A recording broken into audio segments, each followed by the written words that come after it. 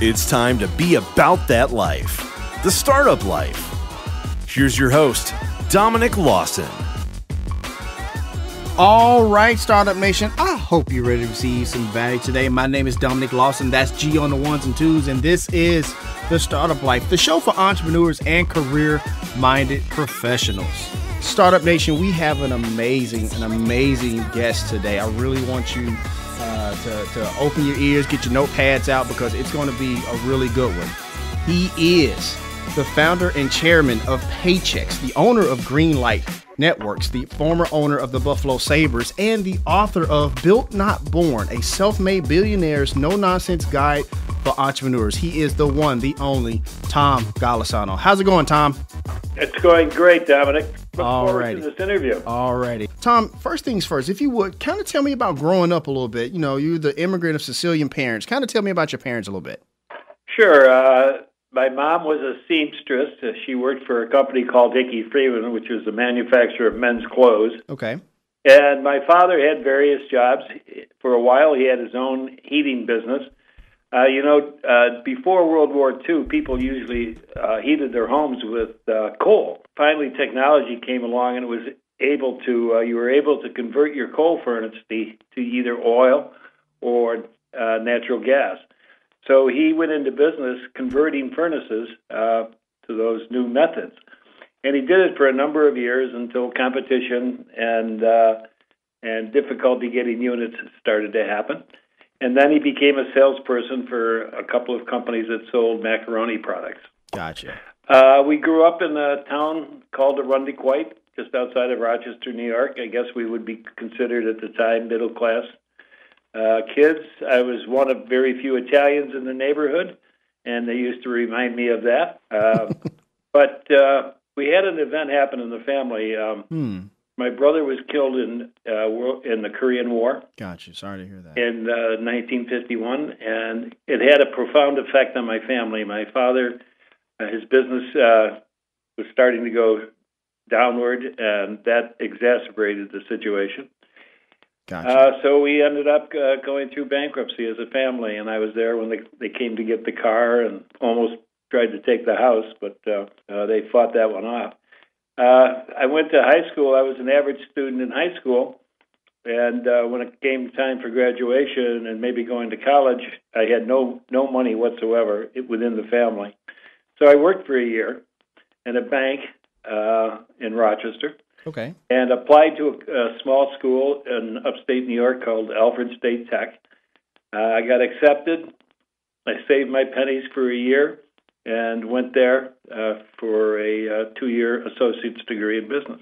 Awesome. Thank you for sharing that. And once again, Startup Nation, we're talking to Tom Golisano, the author of Built Not Born, which is actually out today. Uh, believe it or not, you can get that on tomgolisano.com or to uh, Amazon if that's where you get your local books for sure. Now, Tom, one of the reasons I, first of all, I read the entire book and I loved it. I really did.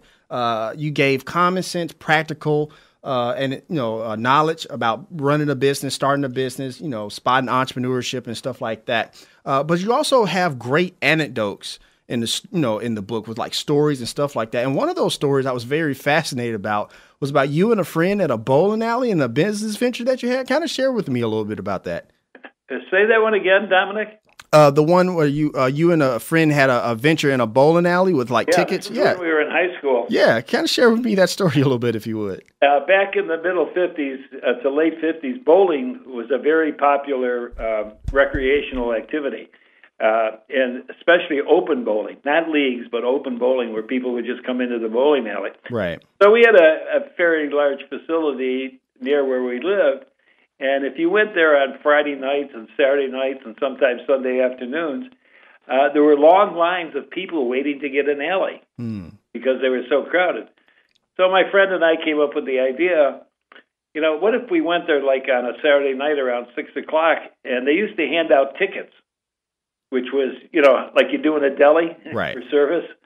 Uh, so we would ask for tickets, uh, which would be numbered, and then when that ticket got close to being called, we would uh, find somebody who might be interested in buying it. Now you can imagine two fellows coming in with two dates and finding out they got a two-hour wait for a bowling alley, and we appear and say, well, you can have the next one, or you know, and and, and within two or three. Uh, there was certainly a market for that, and we would either sell the tickets to to the party, or sometimes we just give it to them and maybe hand our hold our hand out for a for a tip or a gratuity. Right. But we did this for quite a while, some number of weeks, and it was very profitable. But then the owner of the bowling alley caught us doing it. Yeah. And didn't like the idea, so he uh, he kind of stopped us from doing it. I imagine not. I imagine not. You know, do you think if you would have cut him in on it, he would have let you continue that? Geez, I never thought of that. I should have thought of that.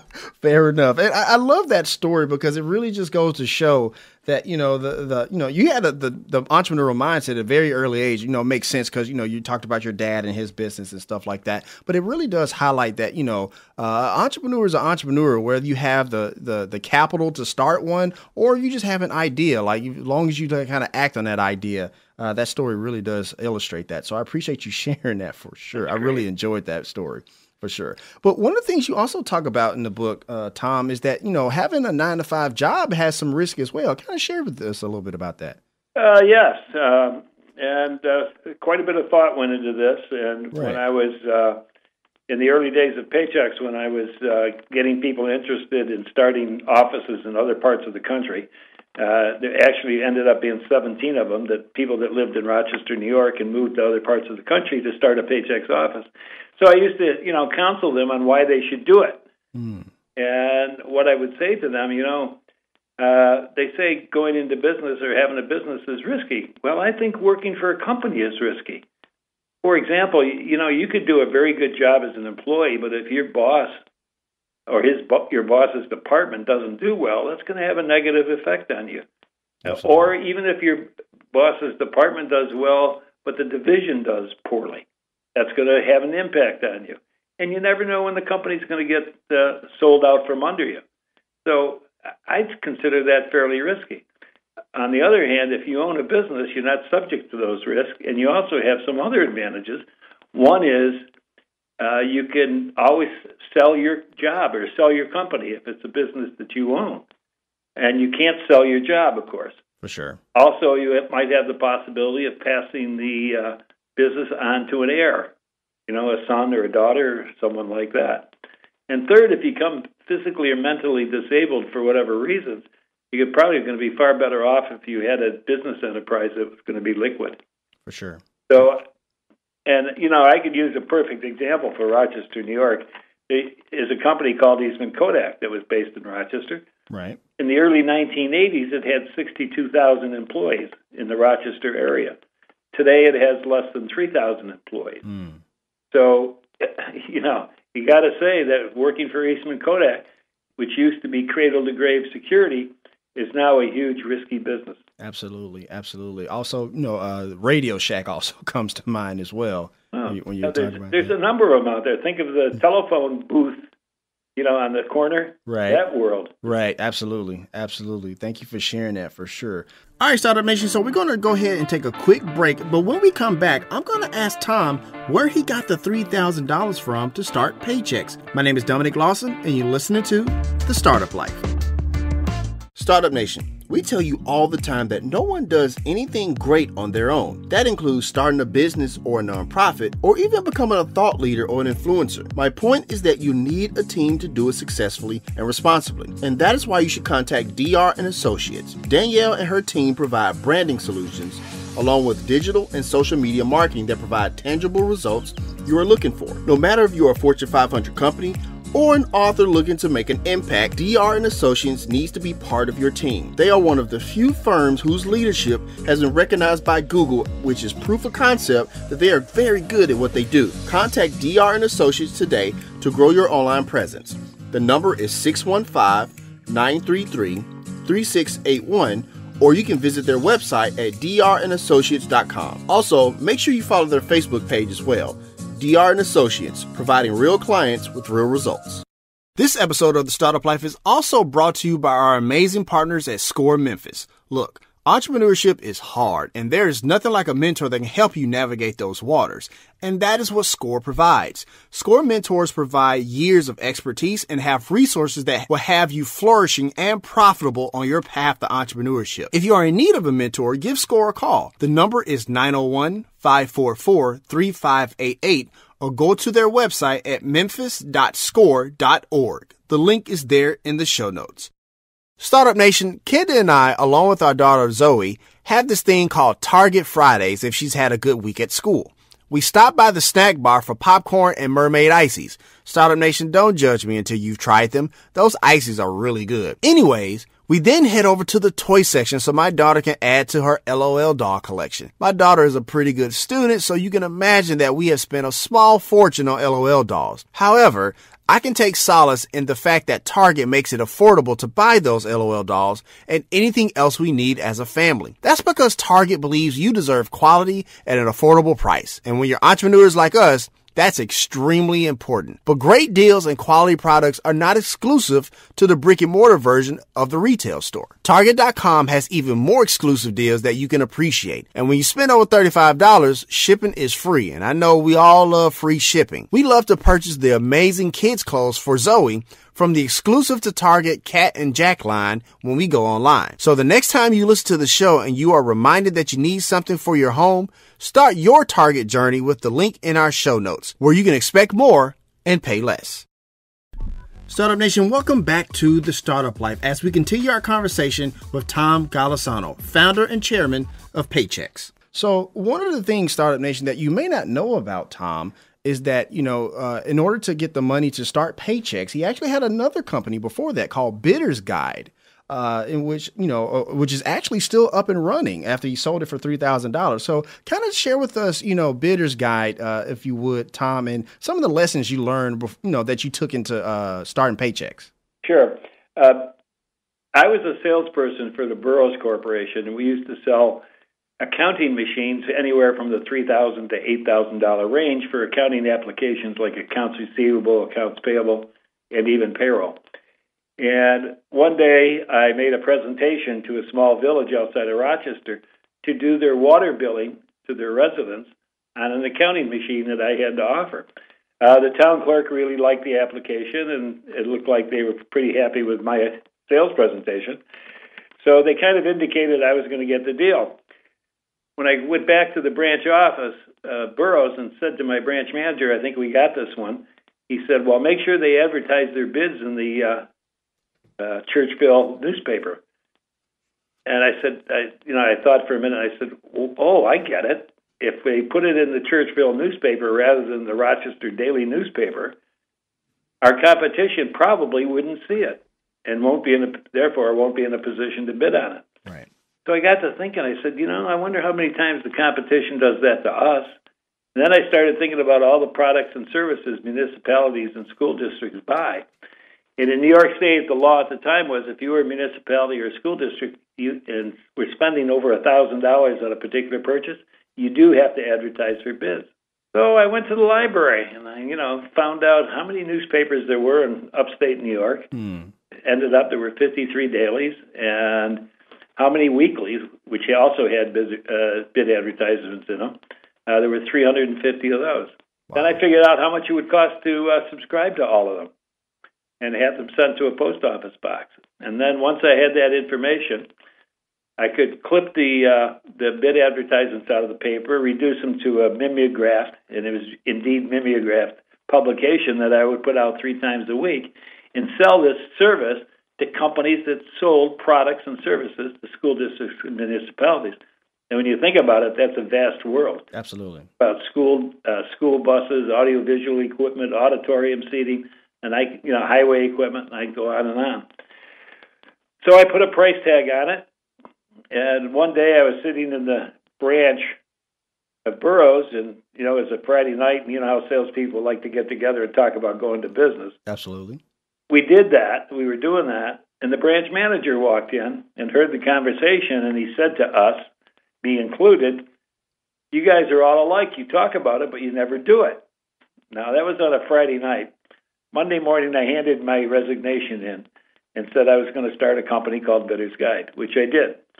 And I worked it full time for two years, traveling around the state and selling selling subscriptions. And I'd come home at night and publish the publication.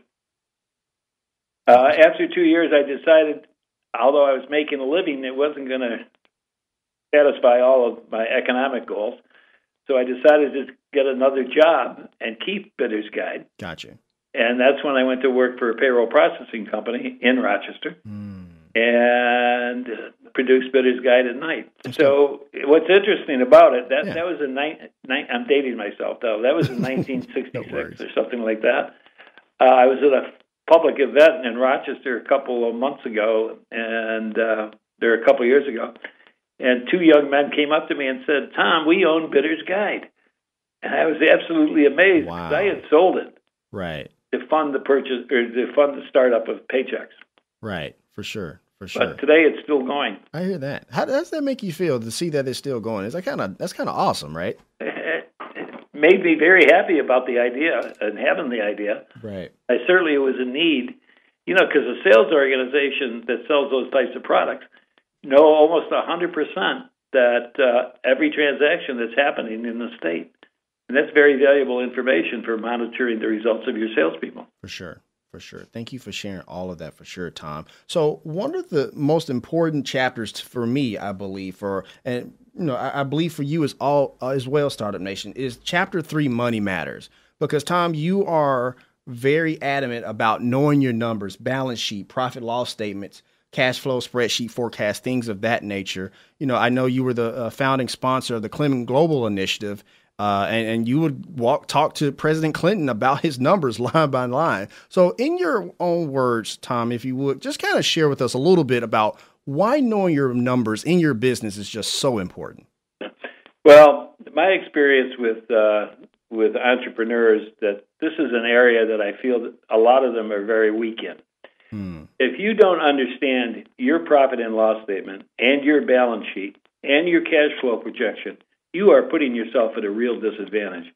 And too often I've run into entrepreneurs that do not understand uh, how these documents are created and what they mean and, and the value of it and their importance. So I would recommend to any entrepreneur, even if you have to take a class at night on fundamental accounting, Right. I think it's a heck of a good idea to do that because you don't want to be caught in a position where you get these financial statements and if you don't understand what they mean to you, and if you cannot look for errors in them, for example, if your person doing your accounting statements for you may make mistakes, if you can't find those mistakes or recognize them, you're in for a lot of trouble. So I would recommend heartily to anybody that's in business, if they don't have a fundamental knowledge of profit and loss statements and balance sheets, they ought to get that knowledge as soon as they can. For sure, for sure. And, and one of the things I love about your book, Tom, is that like it's it's it's kind of like a textbook, but and I mean that in the most flattering way possible because you even have uh, a sheet where it's like like a sample uh, uh, statement, you know, uh, where you kind of give an example of like you know how to read it and stuff like that. So I really love this book for entrepreneurs. Once again, we're talking to Tom Golisano, author of Built Not Born. I want to ask you this, Tom, because I, I found that you know throughout the book that you're a bit of a prankster a little bit. I, I, saw the story about you know with a very uh, luxurious car and a crane, uh, and, and, you talk about how that's kind of good for morale when building a team. Kind of talk about that a little bit. Where does that prankster side come from? uh, I don't know exactly where it came from, okay. but I really believe that in your lifetime you ought to have some real fun. I hear that, and uh, and uh, I certainly believed in that concept. And the the thing you talked about there is uh, one of the senior officers at Paychex used to drive a Mercedes sports car in the wintertime. Mm-hmm. Now, if you ever lived in Rochester, New York, you don't like to, you shouldn't be driving sports cars in the wintertime.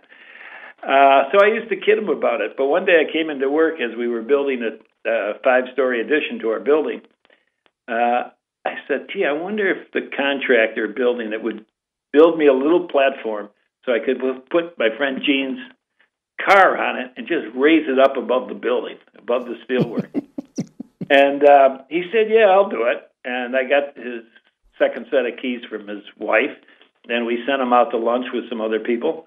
And when he came back, there was his car swinging up on the crane five stories in the air. It was windy. I was afraid it might have been a seventy-five thousand dollar joke, which I would have had to pay for if I ever Right. fell off that platform. Right. But people remem- remembered it for years, particularly people that were in the restaurant across the street watching this thing happen. And of course, Gene, being the good sport he was, when he came back and he saw his car up there, he, he turned to me and he said, "Boy, I wish I had thought of that." Right. So if he had thought of it first, I probably would have been the victim. Got you. Got you. Thank you for sharing that. Now, speaking of Gene, I, I want to ask you this because, you know, we all know in entrepreneurship, you know, there are, you know, profit margins and you talked about the numbers and building a team and things of that nature, but there's also things where it doesn't always go right. And you and you talk about that in the book where Gene comes over to, you know, kind of check in on you and, and you op- and he opens the fridge and there's nothing there. Kind of talk about the mental fortitude, Tom, of building a company like Paychex or just any company for that matter.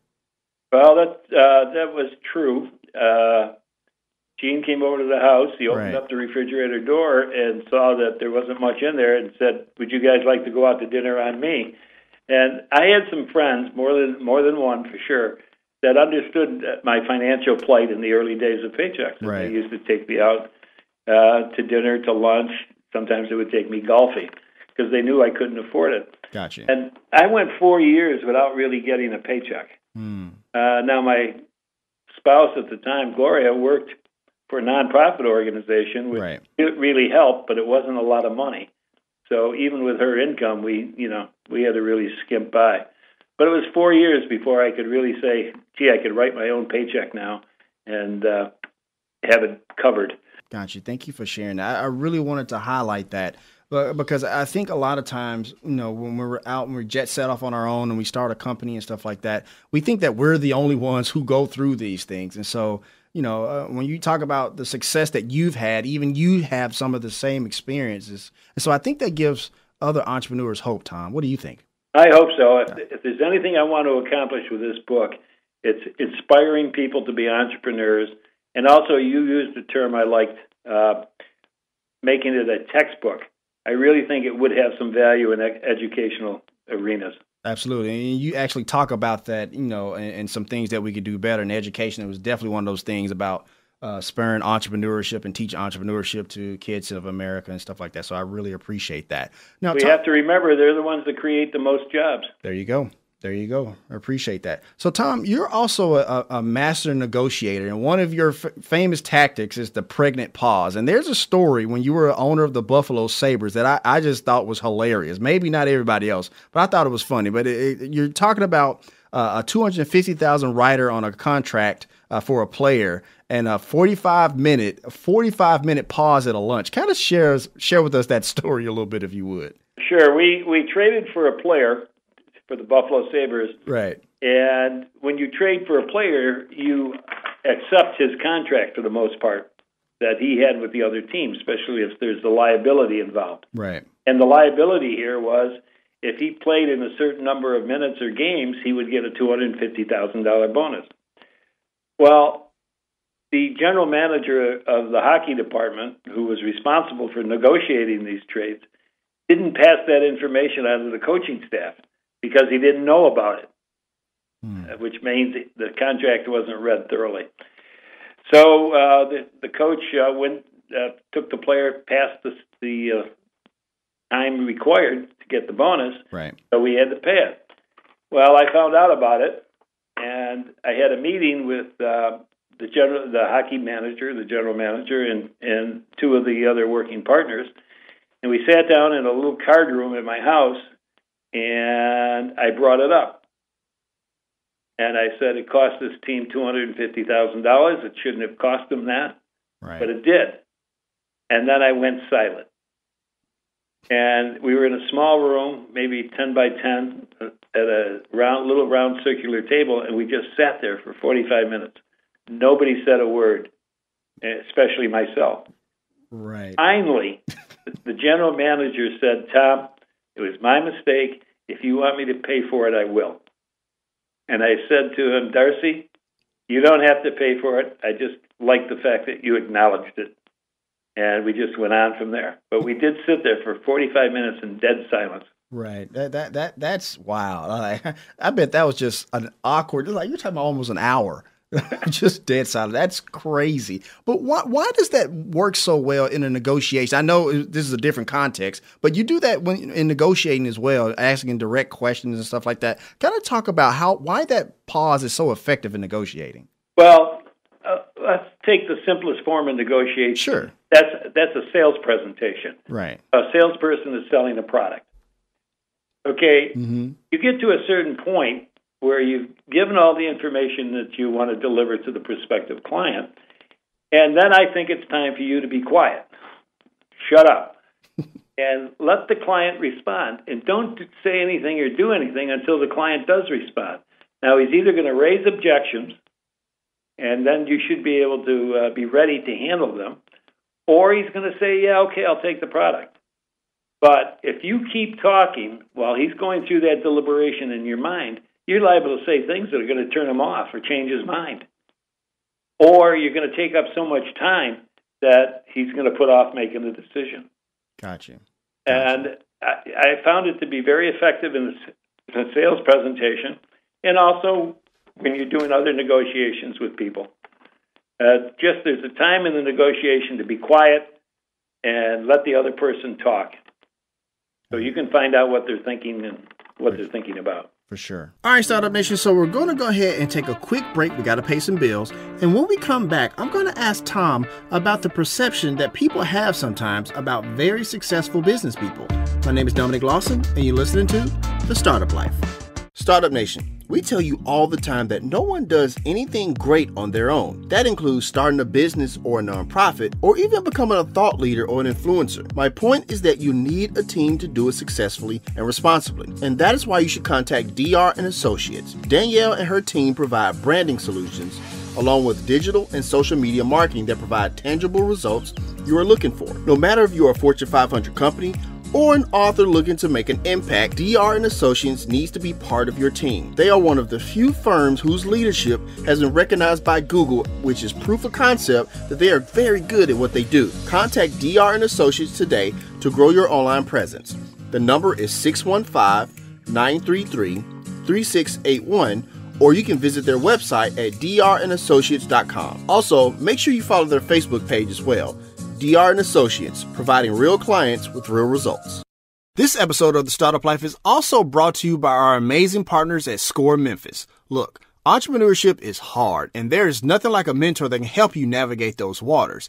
And that is what Score provides. Score mentors provide years of expertise and have resources that will have you flourishing and profitable on your path to entrepreneurship. If you are in need of a mentor, give Score a call. The number is 901 544 3588 or go to their website at memphis.score.org. The link is there in the show notes. Startup Nation, Kenda and I, along with our daughter Zoe, have this thing called Target Fridays if she's had a good week at school. We stop by the snack bar for popcorn and mermaid ices. Startup Nation, don't judge me until you've tried them. Those ices are really good. Anyways, we then head over to the toy section so my daughter can add to her LOL doll collection. My daughter is a pretty good student, so you can imagine that we have spent a small fortune on LOL dolls. However, I can take solace in the fact that Target makes it affordable to buy those LOL dolls and anything else we need as a family. That's because Target believes you deserve quality at an affordable price. And when you're entrepreneurs like us, that's extremely important. But great deals and quality products are not exclusive to the brick and mortar version of the retail store. Target.com has even more exclusive deals that you can appreciate. And when you spend over $35, shipping is free. And I know we all love free shipping. We love to purchase the amazing kids clothes for Zoe from the exclusive to Target Cat and Jack line when we go online. So the next time you listen to the show and you are reminded that you need something for your home, start your Target journey with the link in our show notes where you can expect more and pay less.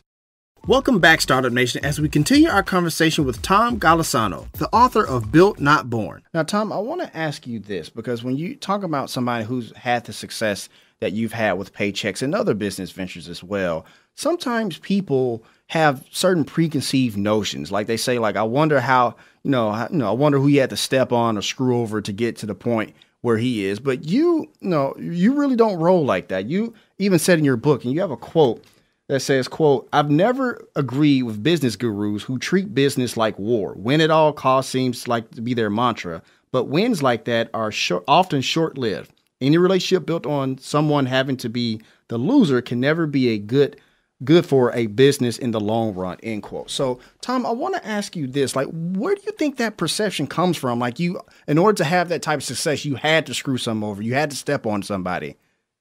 Well you know it's interesting. I was making a presentation to an entrepreneur group down here in florida a couple mm-hmm. years ago. Mm-hmm. and a went through a, a q&a period and a woman asked the same question. How many here what here's, here's what she said. How many people did you have to step on while you were climbing the corporate ladder? Mm.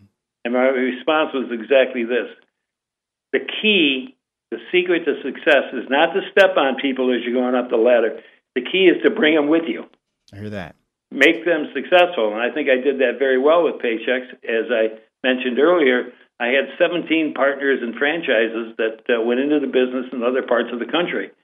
And we grew the organization uh, as a team we didn't step on anybody. We didn't we didn't have to run anybody out of business or anything like that.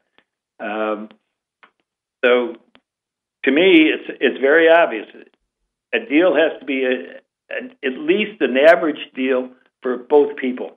Gotcha. One deal, if a deal is so heavenly favoring one party and not the other, it's not good business. I hear that.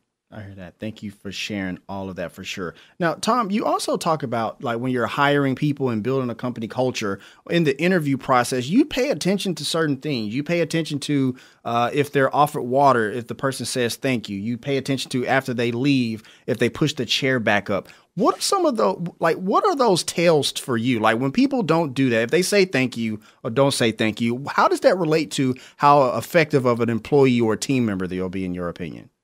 Well, one of the theorems I had in the book is when you're hiring people, you hire attitude rather than skill. Right. Okay, if somebody comes in in a job interview and sits down at your desk and you ask them if they'd like a cup of coffee and they say yes, and uh, you know your assistant comes in with the coffee and offers it to them, and they don't say thank you, hmm. you know, obviously poor manners. Or worse yet, when they take the cup and leave it on my desk when they walk out of the room, you know, instead of saying, Where do I put this cup or I'll take it with me? Just basic common sense. So if you can't get by those those kinds of scenarios with me, then I'm probably not going to be too excited about hiring you. I hear that. I hear that. Thank you for sharing that for sure. So I, I want to ask you this, Tom, because in, in, in the towards the end of the book, you talk about you know some of the regrets that you know you may have had you know on your business career and stuff like that. And I wanted to ask you about another one because you ran for governor of New York uh, three times, right? That's and correct. I guess there was speculation that you may run a fourth time. Do you regret? not running that fourth time. And the only reason I ask is because I looked at the election results for those three election cycles, and each cycle, you gained more and more of a share of the vote. So does that regret ever set in? Do you ever think about like, man, I, maybe I should have ran that fourth time at all? Well, sometimes I'm very happy I didn't get elected. Fair enough. based on what I see these politicians go through. Fair enough. Fair uh, enough.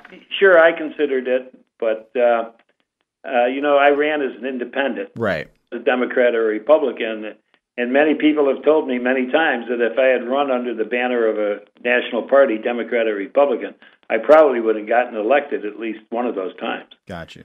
But I opted not to do that. Uh, do I have regrets about the fact that I didn't go with a major party? Not really.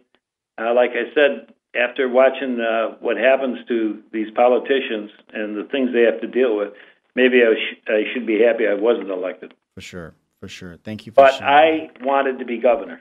Gotcha. no question about it. Fair I enough. Tried as hard as I could. Fair enough. For sure. For sure. So you know, Tom, one of the questions I'm always curious when I when I bring people on the show is that like you know when they're an entrepreneur and they're a business owner, all the decisions that they make really doesn't just affect them in the business, but it also affects the people that they employ, right? Absolutely. But, but, for you, it's it's actually a little different. When you think about Paychex, right? You right now, paycheck Services Startup Nation just about over six hundred and seventy thousand different clients, and small businesses are like the backbone of the American economy, right? So That's when correct. you when you exactly, and so when you put all that together, like you have even more added.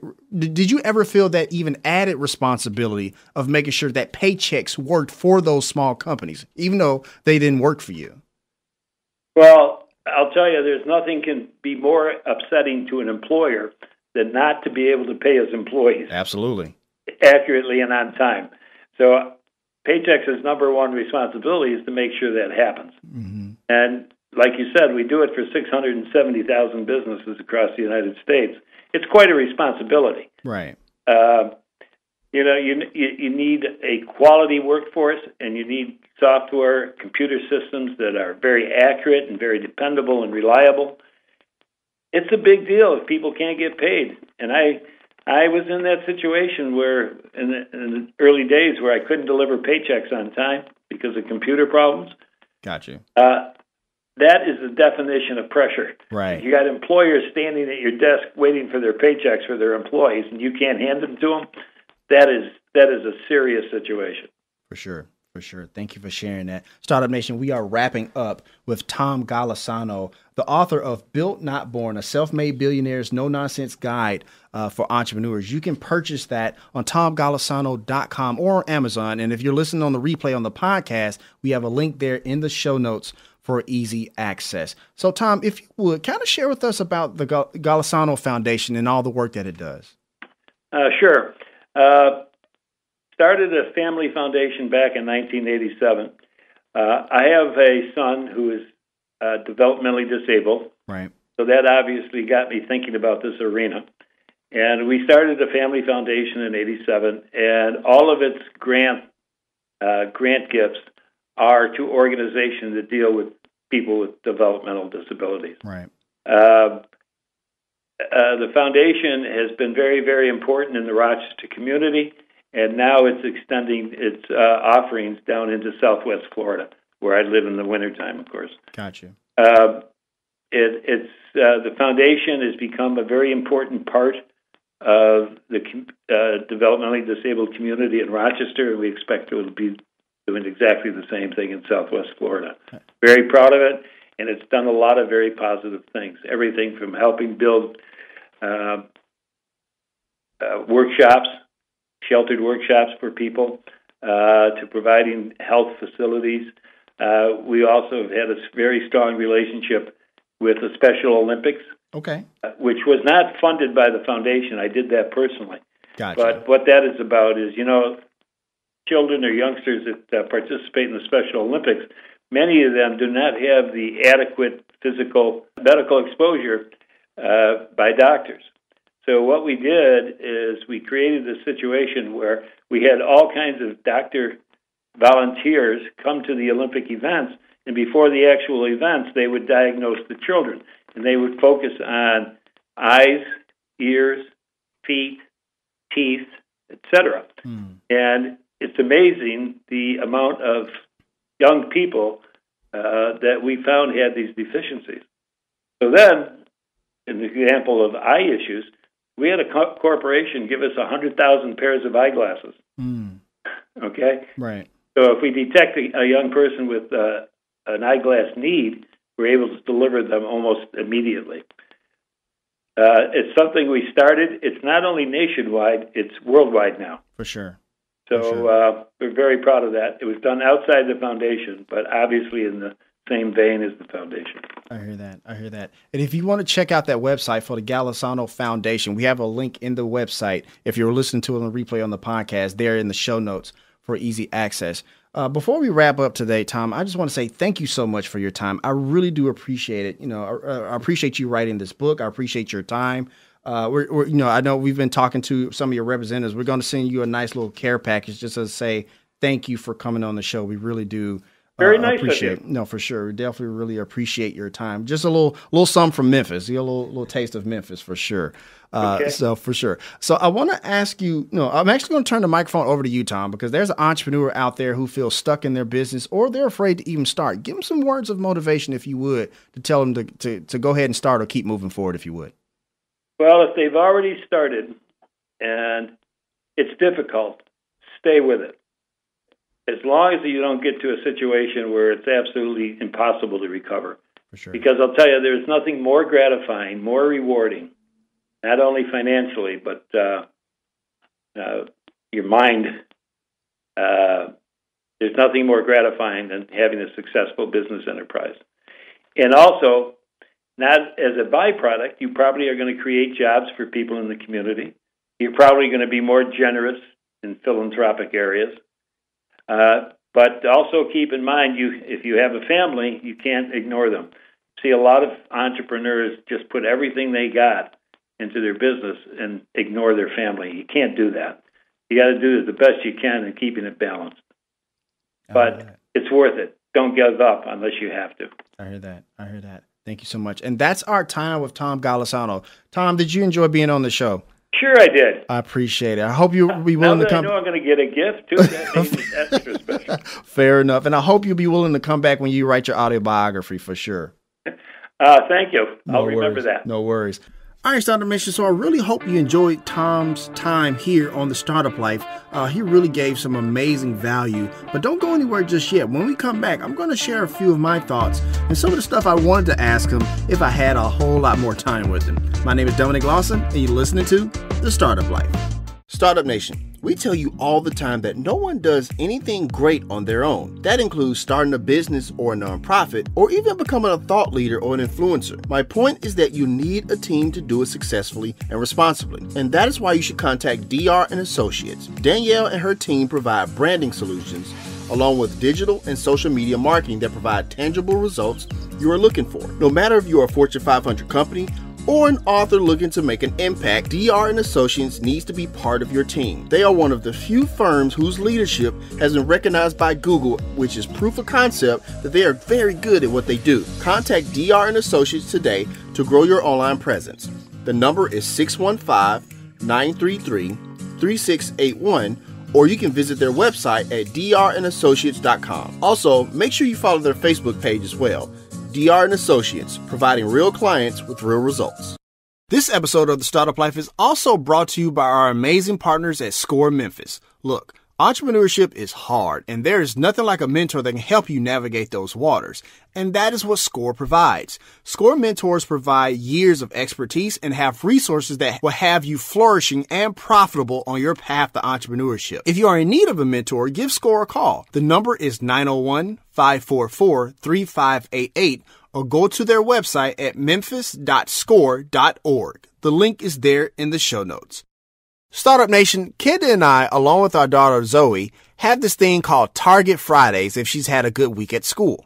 We stop by the snack bar for popcorn and mermaid ices. Startup Nation, don't judge me until you've tried them. Those ices are really good. Anyways, we then head over to the toy section so my daughter can add to her LOL doll collection. My daughter is a pretty good student, so you can imagine that we have spent a small fortune on LOL dolls. However, I can take solace in the fact that Target makes it affordable to buy those LOL dolls and anything else we need as a family. That's because Target believes you deserve quality at an affordable price. And when you're entrepreneurs like us, that's extremely important. But great deals and quality products are not exclusive to the brick and mortar version of the retail store. Target.com has even more exclusive deals that you can appreciate. And when you spend over $35, shipping is free. And I know we all love free shipping. We love to purchase the amazing kids clothes for Zoe from the exclusive to Target Cat and Jack line when we go online. So the next time you listen to the show and you are reminded that you need something for your home, start your Target journey with the link in our show notes where you can expect more and pay less. Welcome back, Startup Nation, to the Startup Life with your host, Dominic Lawson. I really hope you enjoyed our conversation with Tom Golisano, founder and chairman of Paychex and author of the book that we talked about today, Built Not Born, a self made billionaire's no nonsense guide for entrepreneurs. He gave tremendous value, Startup Nation. I hope you really caught that. Startup Nation, when I'm mentoring people or talking to people about starting their business or their company or whatever the case may be, or their path to entrepreneurship, they always ask, like, look, what book should I read? What podcast should I listen to and stuff like that? First of all, I tell them the, as far as the podcast goes, you need to listen to the Startup Life podcast for sure on all major podcast platforms. But one of the books I'm going to definitely add to that list is Built Not Born. And I'm really not just saying that. Startup Nation, look, it reads like a textbook, but like I said to Tom, in a in a very flattering way. It breaks down concepts and, and gives you tangible tools on your path to entrepreneurship, and it backs it up with anecdotes and great stories to make sure that those those those business concepts that he talks about really does stick. One of the things I really wanted to talk to him about that we didn't really get into is how a lot of times when we have competition in our business, competition in our industry, we want to kind of go after them or go for the jugular, you know, cutthroat, if you will, right? But Tom doesn't take that approach.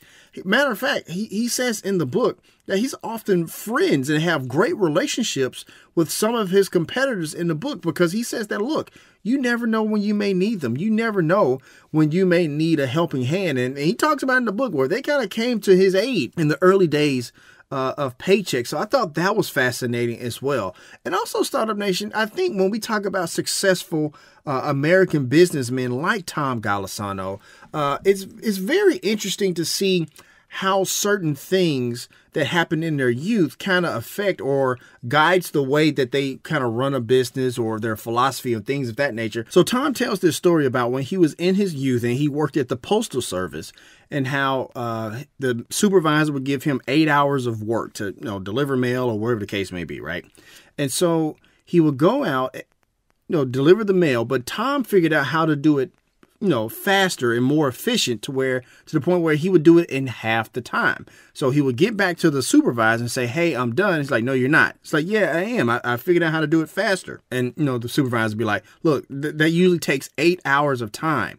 You know, you, you can't possibly be done. Obviously, you know, Tom's still pleading with him, whatever the case may be. And so the supervisor said, like, look, each day when you come to work, I don't want no, when you go out to do your deliveries or whatever, I don't want to see you until five o'clock. So what Tom would do at that point, he would go out, do his deliveries and have the time. And then the rest of the time, up until five o'clock, he'll go hang out with his friends.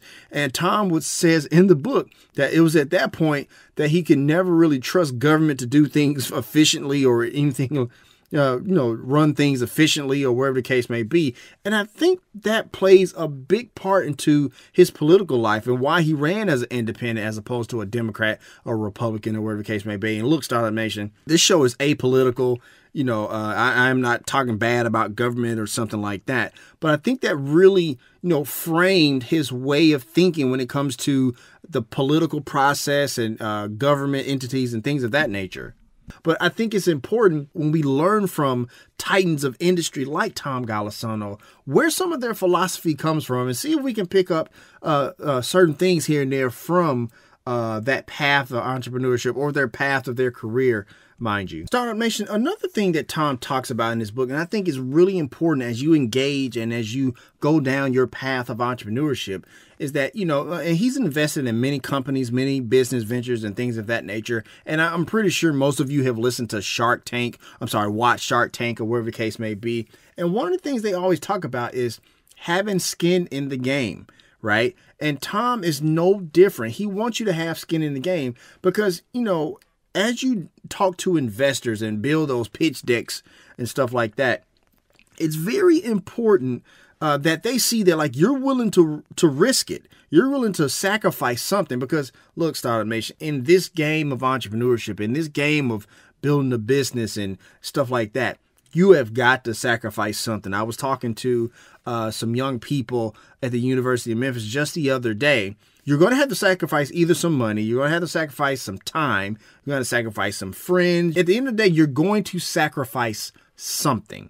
And I think that's the important thing. And Tom really illustrates that in his book, Built Not Born. And Startup Nation, you may be thinking I'm giving up all the tea in this episode, and I'm really not. There is so much value in the book, there is so much content in the book. Like I said, it really does read like a very good textbook from the standpoint of anecdotes and business concepts. And once again, the, the book is Built Not Born, a self made billionaire's no nonsense guide for entrepreneurs. And you can get that if you listen to the podcast replay, you can get that tomgolisano.com. The link is there in the show notes. The Amazon link is in the show notes uh, as well, or wherever you get your book. It, it's it's in stores today. So go ahead, get that out. And actually, when you get it from tomgolisano.com, there's actually some extras that he's that he's thrown in as well. See, look, entrepreneurs are all about giving people value. So that's going to be our time today, Startup Nation. I really hope you enjoyed it once again. And as always, if you have an idea, be about that life,